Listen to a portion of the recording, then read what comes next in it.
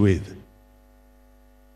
I joined the ministry of, um, or the government in 1968, and I found Nyachae was already in the provincial administration, doing pretty well. I was a young engineer, rose through the ranks in the ministry to chief engineer roads, and then permanent secretary for uh, about 13 years uh, in the Ministry of Transport and Communications and Agriculture. It is at the Ministry of Agriculture where the two of us, that's Honorable Mzee uh, and myself, work together. And I can assure you that here is a man whom one would love to say he is associating with. Very highly principled, and somebody who is uh, result oriented, meaning if he was doing anything, he would set a target and would ensure that he has a way of monitoring whatever was going on. Not just saying the project is ongoing, he wants to see results and results within a specified period. One project that uh, put us together was the rural, uh, rural development, which is now translated into devolution that we hear about. I can assure you that the seven districts which were set aside for that experiment, uh, much was done, and uh, Simeon Nyachae was the brain behind the whole of that. Now, many people got employment, go, ch- children were able to learn that whatever they were seeing at the grassroots level was their own because they selected, because they constructed if they were roads, because they uh, maintained, and they preserved those facilities because they are for their, their own good. I would like to say that uh, we are missing Nyachae, we'll continue missing him greatly. And before I finish, I would point at that lady there, being my wife. She's uh, Mary Akelo, a nurse by profession. And to all of you, I, I say you miss somebody whom one would wish to continue associating with. May God bless his soul in eternal peace.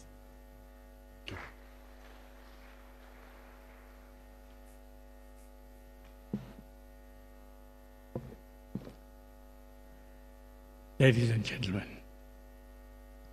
I am proud to be able to say that Simeon was my friend. Long, long time ago, we became friends. So, although of course I knew Charles and Kennedy, but I also knew Maina and Yandusi when they were this high. And I've seen them grow up.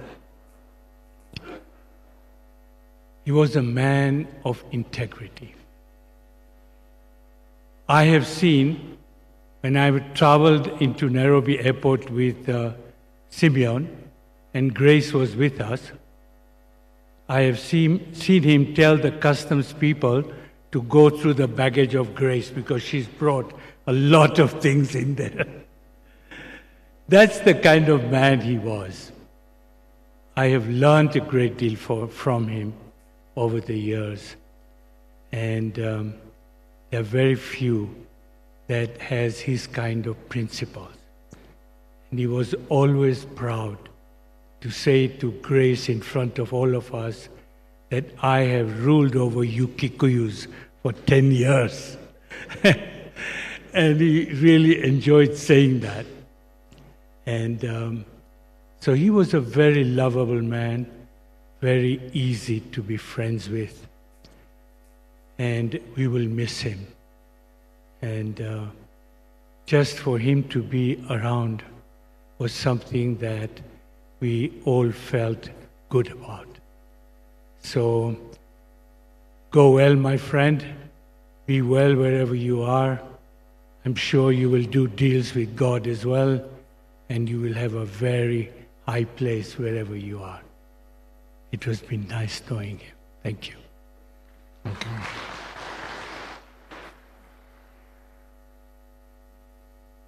you. Good morning. Uh, it's good afternoon, all of us. Uh, my name is Moses Mwendwa. And maybe I should start by saying I was taken by surprise because I didn't know I would be asked to speak. But that said, I have reason to thank God that Honorable Mzee Nyachae was my good friend. You'll be wondering how I would say he was my friend. Mzee Nyachae, those I know there are some here who have seen here, knew that he worked with my father many years back when he was appointed DC in Nyahururu. I think that was the first time I knew him. A lot of people didn't know that. And they worked with, he worked with my father in, uh, in Nakuru when he was appointed PC. My father was a provincial accountant. And in Nyeri, when he was PC, my father there was also a provincial accountant. But my relationship with him came much later when he knew I was the son of Joseph and he didn't know I was in Nairobi. And we became very close because he involved me in a lot of his work. He was a mentor to me. He taught me a lot of things. I met a lot of people through him, and these people became my friends. So, for me, what I can say, and like I, he always said, I was a son of Honorable Nyachae because every time we sat down to discuss, maybe in a board meeting or somewhere, he would tell those sitting with us that this man, I worked with his father, so he is my son. And I accepted because he said, I'm an adopt, I am an adopted son of the Nyachaes. I'm happy to say here one thing that I've seen. The, group, the grandchildren and the children of Nyachae have said one thing that they will speak, they will stick to his motto respect, integrity, and love for one another. They have said that they would not let Mzee down. We've seen many families, after the head of family has departed, mess uh, the family, the businesses, and the rest. I can tell you one thing that I know. Mzee was very organized. I would sit with him for hours in his office discussing various things. And I can tell you, Mzee was organized and he loved his family deeply. He loved the whole family. And all the children were loved. And he had special love for each child. And the mothers here, those who are gone, because I knew, I knew them, I met them. And those who are here, Mama Charles, mother, and Mama Grace. He would tell me about the care Mama Grace took to ensure that he got well. And sometimes I would be very touched, knowing that he would tell me, Look, many people don't know the importance of a wife. Being careful, he would say, Look, you do not know that an, a man who is not married misses a lot. When you get old or you are sick, you need a wife to take care of. And he said he has reason to thank God because he has the wives who took care of him, he has Grace who took care of him. He was like a child to Grace because she would do everything for him. He was proud of the achievement of his children, like Charles here, like all the others, all of them. He was proud, and will remind me that the first thing he liked and he admired was the performance of his children. And he kept their certificates. You'll be surprised. He kept their certificates and he would not give them until later. Maybe even if you are given an, an item, he will keep that certificate. Tell you that is yours, but it's not yours when until I'm gone. So please, my advice is respect and honor your father's advice. Stick together, love one another, be firm, grow that organization. The businesses that Mzee had, grow them. Don't mess. Stay together, stick together, love one another, and Mzee, wherever he is, he will be blessing you. That's the only thing I can tell you. Me, he was a father, and he helped me in many things, in many ways. Advice and my other personal problems. So for me, he was a father and a great friend. So that's all I can say. Thank you very much. Thank you very, very much, uh, Mzee Moses Mwendwa.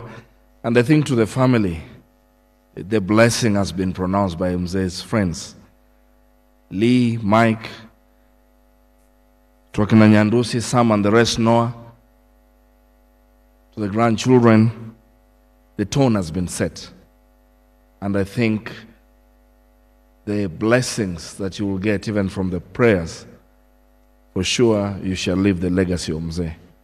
I now wish to bring uh, uh, Mike Gitone from the presidency to take us on the other beat, and subsequently we shall then uh, go to uh, the reading from Psalms 121 that shall be done by Noah, and have a hymn uh, by the mother's voice, and we shall be culminating by the sermon by Pastor Irere. Thank you very much for listening to me. I know I forgot to introduce myself. My name is uh, Jeff Omambia, a serving elder in this church. Welcome, Mike, and carry on.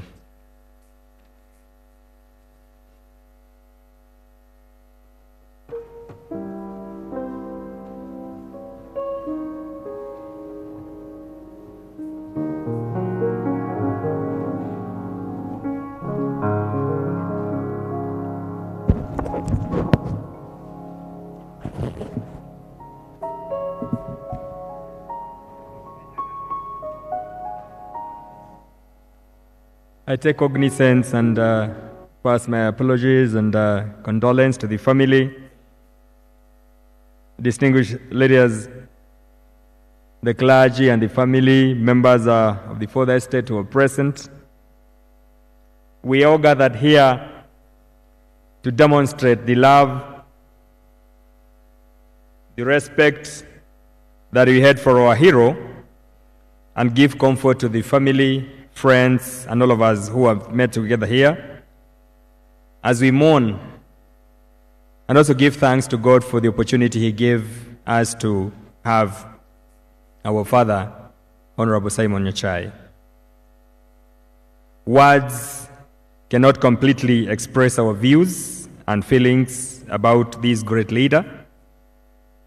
But one thing I know and I believe firmly is that uh, he has fought a good fight, he has kept his faith, and now he has rested in peace.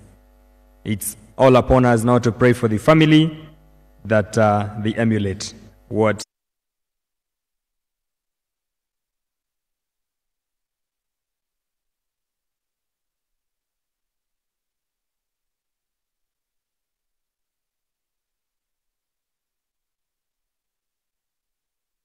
I wish now humbly to invite the chairman of the Council of Governors, Honorable Governor Wambora, on behalf of the Council to come and pay his tribute and acknowledge the other governors who were present.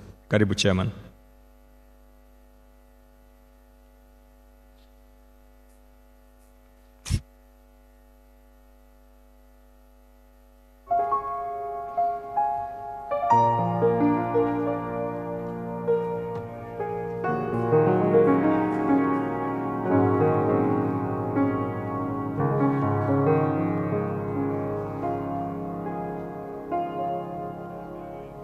Good afternoon. the, the right